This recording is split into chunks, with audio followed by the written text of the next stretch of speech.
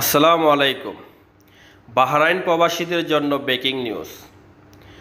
বন্ধুরা, লকডাউনের সময়সীমা আবারও দুই সপ্তাহ বাড়ানো হলো। তো আমি আছি সোহাগ হাসান, আপনারা দেখতেছেন প্রবাস কথা, প্রবাসীদের কথা। ইতিমধ্যে আমরা যারা বাহারাইন প্রবাসী আছি, আমরা সবাই জানি যে গত সাতাশে মে থেকে দশই জুন পর্যন্ত বাহারাইনের লকডাউন ছিল।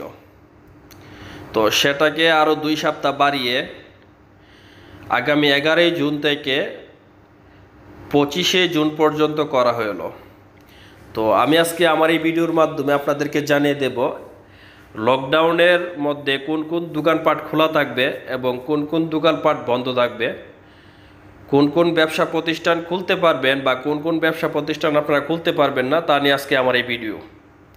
তো বন্ধুরা, তার আগে ছোট্ট একটা রিকোয়েস্ট এখনও যারা আমার এই চ্যানেলটি সাবস্ক্রাইব করেননি, প্রবাস কথা, প্রবাসীদের কথা, অবশ্যই সাবস্ক্রাইব করে নেবেন। তারই পাশে বেলাইকুট অন করে দেবেন, সবার আগে এরকম নতুন নতুন নিউজ পাওয়ার জন্য। সবসময় আমি এরকম নতুন নতুন নিউজ দিয়ে থাকি বন্ধুরা।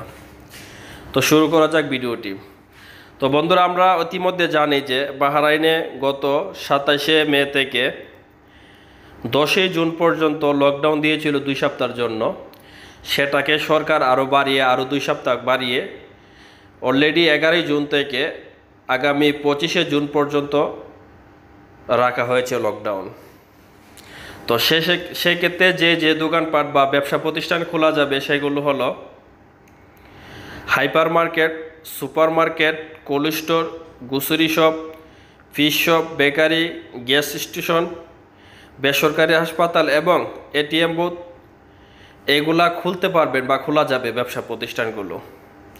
আর যেগুলা বন্ধ থাকবে তার মধ্যে হলো রেস্টুরেন্ট, সীসা ক্যাফে, সকল শপিং মল, শপিং সেন্টার, সাধারণ দোকানপাট, সিনেমা ও সেলুন বন্ধ থাকবে।